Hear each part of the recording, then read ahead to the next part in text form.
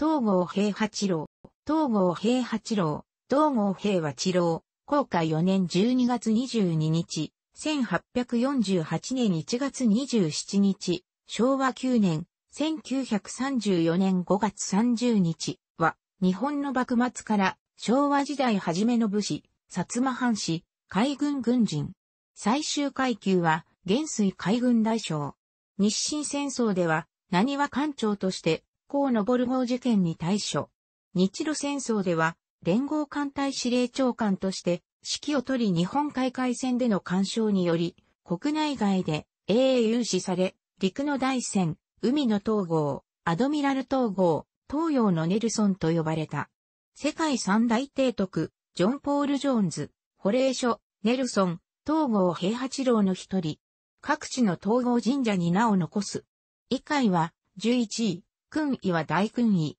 高級は高一級、爵位は公爵。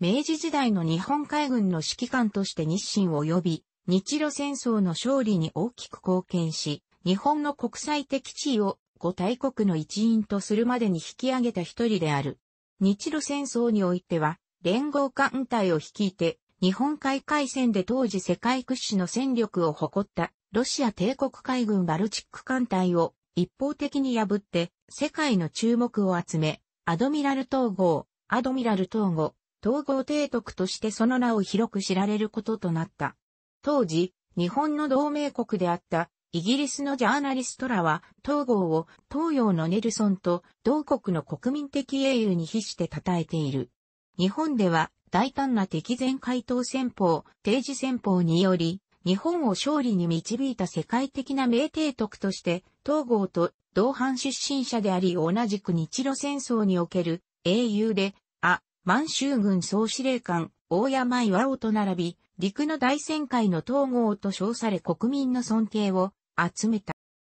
航海4年12月22日、1848年1月27日、薩摩国鹿児島城下の梶屋町日本松馬場、下梶屋町大切り、現、県立鹿児島中央高校科学講義室付近に、薩摩藩士、東郷実友と、堀よそ左衛門の三女、駅の四、男として生まれる。幼名は、中五郎。14歳の時、元服して、平八郎実領と名乗る。文久3年、1862年、薩摩藩主として撮影戦争に従軍し、初陣、慶応3年、1867年6月に分家して一家を起こす。戊辰戦争では、春日丸に乗り組み、新潟、函館まで転戦して、阿波沖海戦や函館戦争、宮古湾海戦で戦う。体型は小柄ではあるが、下の写真でもわかるように、美男子であり、壮年期においては、料亭、小松で、芸者から随分モテたとされる。明治の世の中になると、海軍士官として明治4年、1871年、から当11年、1878年まで、イギリスのポーツマスに、官費留学する。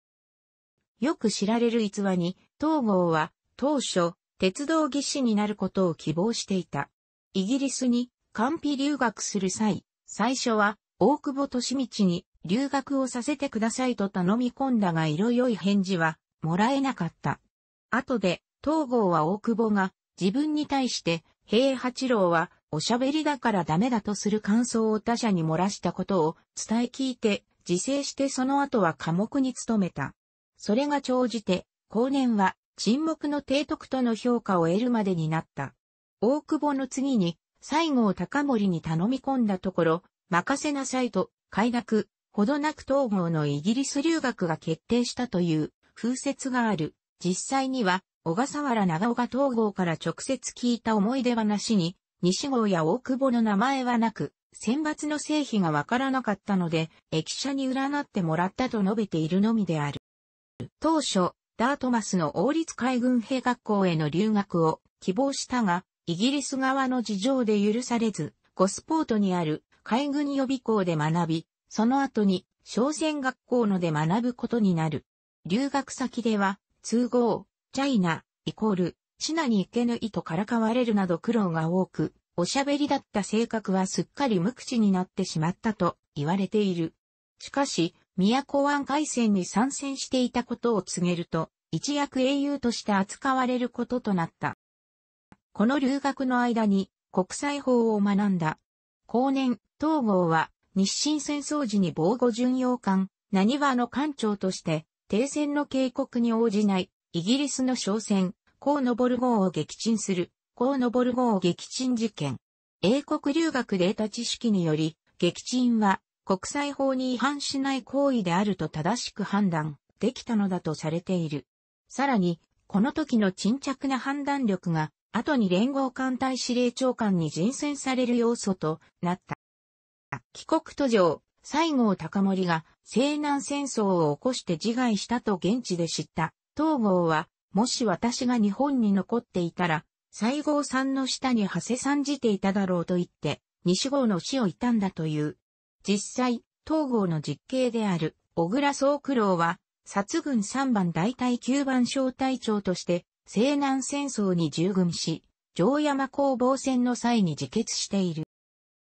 明治26年、1893年、ハワイ王国のリリウオからに女王が米国との不平等条約を撤廃する動きを見せると、これに強く反発したアメリカ人農場主らが海兵隊160名の支援を得て、クーデターを、帰国、王政を打倒して、臨時政府を樹立した。この時、日本は、法人保護を理由に東郷を率いる、巡洋艦、何は他2隻をハワイに派遣し、ホノルル軍港に停泊させて、クーデター勢力を威嚇した。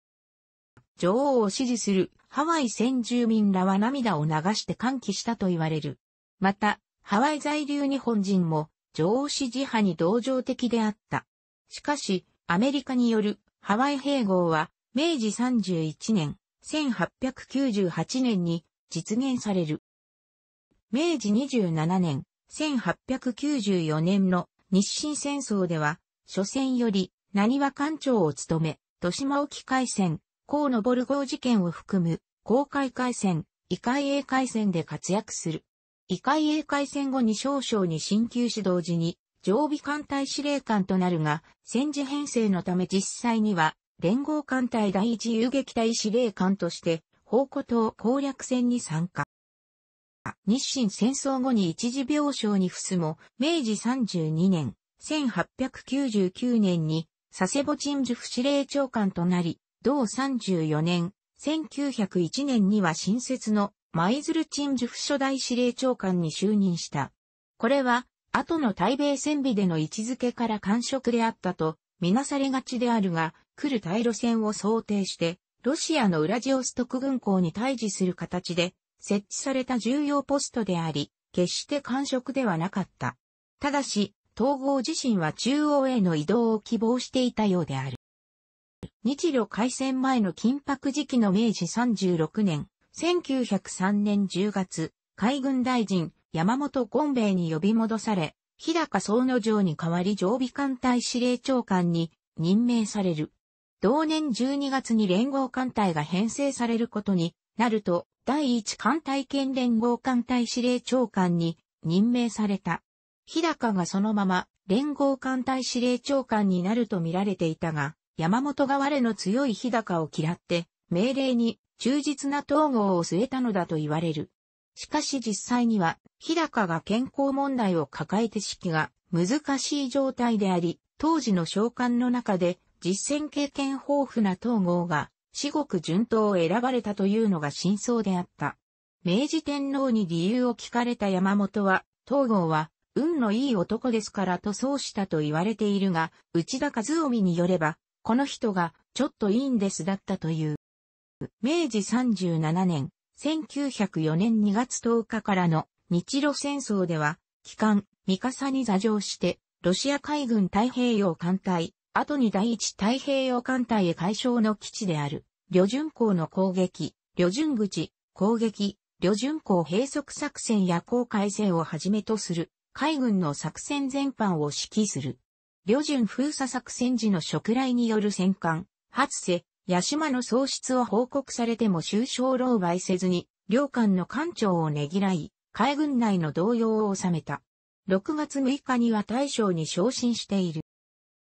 そして、明治38年、1905年5月27日にヨーロッパから極東へ向けて開港してきたロジストベンスキー提督率いるロシアのバルチック艦隊、ロシア第2、第3太平洋艦隊、機関、クニャージスボーロフを迎撃する。この日本海海戦に際し、敵艦、ケンユとの警報に接し、連合艦隊は直ちに出動これを撃滅戦とす。本日天気正論なれども破口との一報を大本営に打電した。また、艦隊に対し、広告の後輩この一戦にあり、各位に一層奮励努力せよと Z 機を掲げて、全軍の指揮を鼓舞した東郷の肉声も3、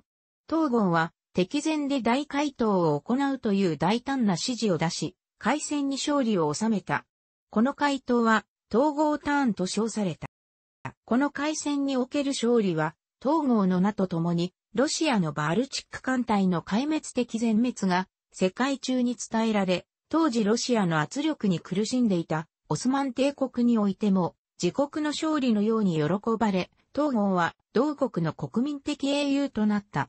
その年に同国で生まれた子供たちの中には、東郷と名付けられる者もおり、また、東郷通りと名付けられた通りもあった。評論家の松本健一は、東郷通りは数年前にアタチュルク通りと改名されたと辞書の中で述べている。ただし、東郷通りの名称は、東川ソカギで、東川はひばりを意味するトルコ語なので、東郷とは何の関係もない可能性もある。日露戦争終了直後、訪問艦にて同盟国のイギリスに渡用、他の将校や乗組員と共にサッカー、フットボールリーグ、ニューカッスルユナイテッドのホームゲームを観戦。明治38年、1905年から明治42年、1909年まで海軍軍令部長、東宮御学問所総裁を歴任。明治39年、1906年、日露戦争の功により、大勲位菊花大綬章と功一級金鵄勲章を授与される。明治40年、1907年には伯爵を受爵。大正2年、1913年4月には元帥府に列せられ、天皇の御前での杖の使用を許される。大正15年、1926年に大勲位、菊花賞軽職を受賞。当時の軽職受賞者は、皇太子、広人親王と、寛位宮琴人親王だけだった。また、タイム氏の同年11月8日号において、表紙を飾るカバーパーソン初の日本人となった。第一次世界大戦後の海軍軍縮において、末継信正や加藤寛治らの、いわゆる艦隊派の提督が統合を利用して軍政に干渉した。昭和5年、1930年のロンドン海軍軍縮会議に際して反対の立場をと、ロンドン軍縮問題はその典型である。その他に、明治以来の懸案であった、陛下と機関家の処遇格差の是正、海軍機関家問題。陛下は、機関家に対し処遇、人事、指揮検討すべてに優越していたにつても、改善案について相談を受けた統合は、鎌滝どもがまだそんなことを言っているか。と反発し、結局、この問題は第二次世界大戦の終戦直前に改正されるまで部内対立の火種として残され、壮年時代はよく遊び、料亭に数日間も居続けたり、鉄砲打ちに出かけたりしたが、晩年は質素倹約を旨とし、趣味といえば、盆栽と語をたしなむ程度であった。自ら七輪を用いて、料理をすることもあったという。しかし、新聞記者に対し妻が、新婚時代に内職して、家計を支えたエピソードを話すと、家族に経済的心配をかけたことはないと激怒した。昭和9年、1934年5月30日、高頭癌、膀胱結石、神経痛、気管支炎の悪化のため満86歳で皇居。皇居の前日に公爵に昇爵。皇居に際しては、全国から膨大な数の見舞い状が届けられたが、ある小学生が書いた統合元帥でも死ぬの？という文面が新聞に掲載され大きな反響を呼んだ。6月5日に国葬が取り行われた。国葬の際には参列のために各国海軍の儀礼艦が訪日し、イギリス海軍シナ艦隊の従巡洋艦、サフォーク、司令長官大将、艦長大佐、アメリカ海軍の従巡洋艦、オーガスタ、司令長官大将、艦長ニミッツ大佐、フランス海軍極東艦隊の軽巡洋艦、プリモゲ、司令長官、リシャール少将、艦隊参謀長兼艦長、ルルー大佐は、機上隊を総列に参加させ、日本艦隊と共に、横浜港で半旗を掲げ、情報を発射した。イタリア海軍東洋艦隊の巡洋艦、クアルト、艦長兼極東イタリア海軍主席士官、ブリボネジ大佐の横浜入港は、有国となった。中華民国練習艦隊の巡洋艦、寧海、司令、大久指定中将、艦長、後見、猿大佐は、国葬時刻に間に合わぬと判断し、機上隊を下関から列車で東京に向かわせて、弔意を示し、寧海の横浜入港は、翌6日となった。葬儀委員長には、有馬義吉海軍大将、副委員長には、内閣書記官長、堀切善次郎が5月30日に任命された。しかし、有馬が明治神宮宮司を務めていたため、新官が葬儀に関わることを禁止した通達、新官葬儀二席、助から猿ごと明治15年1月24日内務省立ちをつ、第7号に抵触するのではないかの議論が持ち上がり、6月8日には辞任となった。16日、葬儀委員長に副委員長から堀切善次郎が、副委員長に委員から長谷川清が昇格した。さらに、斎藤実内閣から岡田圭介内閣への交代に伴い、7月10日に葬儀委員長は川田列へ交代した。当時のイギリスでは、東洋のネルソン提督が亡くなった。ドイツは東洋のティルピッツが逝去した。と自国の海軍の父的人物になずらえて哀悼した。死後、東京都渋谷区と福岡県宗像郡津屋崎町、現、福津市に東郷神社が建立され、神として祀られた。ただし、東郷自身は生前の乃木神社建立時、陸軍に対抗するために将来自身を祀る神社の設立される計画を聞いて驚き、やめてほしいと強く懇願した。願いは聞き入れられず、結局、没後に神社は建立されている。墓所も生前、母親の益子の眠る青山墓地への埋葬を希望したが、これも聞き入れられず、玉霊園に埋葬されることとなった。また銅像が埼玉県飯能市の統合公園、秩父御嶽神社内、神奈川県横須賀市の三笠公園、長崎県佐世保市の東公園、佐世保東山海軍墓地、鹿児島市の多賀山公園の4カ所に現存する。東京都府中市には、東郷の別荘跡地に建立された東郷寺があり、桜の名所である。晩年において海軍における東郷の権威は絶大で、官政上の権限はないにもかかわらず、軍令、軍政上の大事は、東郷に、大う加害を立てることが慣例化していた。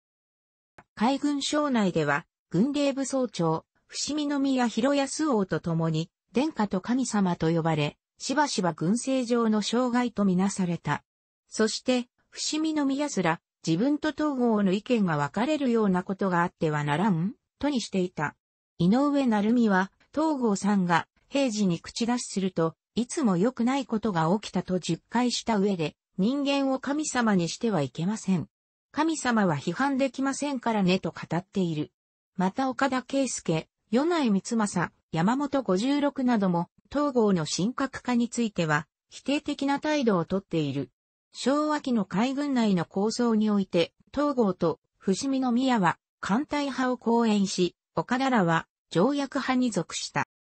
東郷に関する著作物中、重要なものは、東郷の施設副官と言われた小笠原長尾によるが、日本海海戦時に、三笠環状にあった今村信次郎は、東郷の前で事実と異なる点を指摘し、東郷は、証人がいては、仕方ないと小笠原に訂正を指示している。山地和義は、小笠原に対し、閣下の統合元帥に関する著書や、講演の中には、殉職が度に過ぎて、古代に資するものがあり、日本の歴史を誤るのではないかと憂えると述べたと、される。第二次世界大戦後、GHQ によって日本の軍事的モニュメントの撤去作業が行われたが、米国海軍は統合に関するものには手を触れさせなかった。戦後、戦艦、ミカサは、荒れ果て、アメリカ軍人のため娯楽施設、キャバレー統合や水族館が設置されたり、上部構造物は愚か取り外せそうな金属類は機関部に至るまですべて盗まれ、チーク材の甲板までも焚き木や建材にするために剥がされたりするなど荒廃していた。太平洋戦争で対日海軍作戦を指揮したチェスター・ニミッツ元帥は一方で統合国葬に際して訪日したこともあり、ミカサの後輩を憂いて著書の売り上げを寄付するなどして東郷と若い頃への思いを込めて、ミカサの復興と保存に協力した。レイモンド・スプルーアンスとウィリアム・ハルゼーも、東郷への尊敬の念が強かった。低新章、現在の日本郵便が、昭和12年、1937年に発行した普通切手のうち、当時の風書基本料金用の4000切手に、東郷の肖像が使われている。その後、郵便料金の改定に伴い5銭と7銭の額面の切手が発行されている。また、太平洋戦争初期の1942年2月にシンガポール陥落の文字が入ったかすり切手が発行された。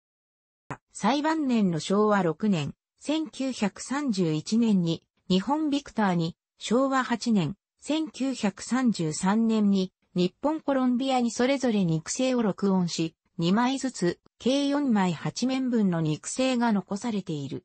内容は以下の通りである。その他、明治38年、1905年10月29日に、青山霊園で挙行された海軍庁委祭でも、東郷の朗読する祭祀の録音が、小笠原長尾の発案で行われることになっていたが、朗読する東郷の写真を撮ろうとした写真屋に対して、東郷がお下げなさいと一括。驚いた写真屋は慌てて逃げ出し、ついでに幕の後ろで待機していた録音技師たちまでもが逃げ出したため、録音は行われなかった。楽しくご覧になりましたら、購読と良いです。クリックしてください。